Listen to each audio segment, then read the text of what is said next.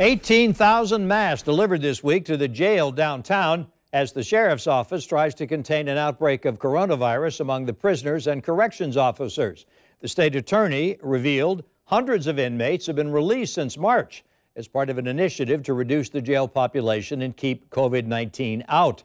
News4JAX I team investigator Kelly Wiley found out since April, jail employees were instructed in some instances to wear head to toe protective gear to keep the virus from spreading. The Florida Department of Health says next they'll have to retest inmates who have tested positive and any inmates that they were around at the time. It's not until they get a negative result that they can be removed from isolation where they are currently being held.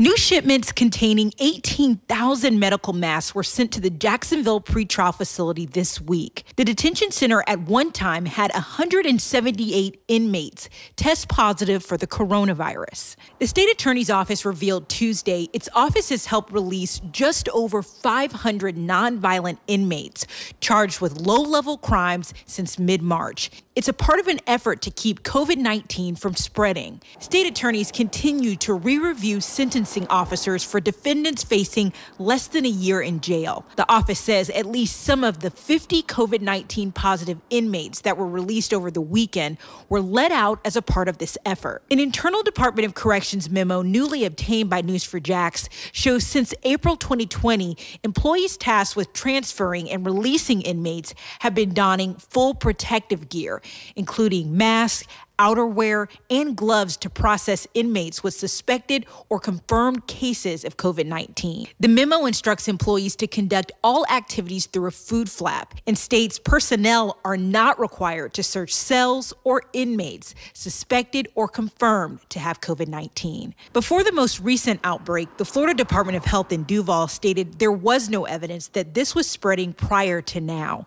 In a phone interview, the sheriff said contact tracing showed a jail doctor who who was around inmates and staff after showing symptoms was the only known lapse in protocol. The doctor is no longer employed, according to the sheriff, but worked for medical contractor Armor Correctional Health Services. Earlier today, we requested updated numbers from the Jacksonville Sheriff's Office on how many employees have since tested positive and how many inmates have since tested positive since our last update. We are we did not get those numbers today. We are waiting on them, and as we get an update, we will update you. Reporting in Jacksonville, Kelly Wiley, Channel 4, the local station.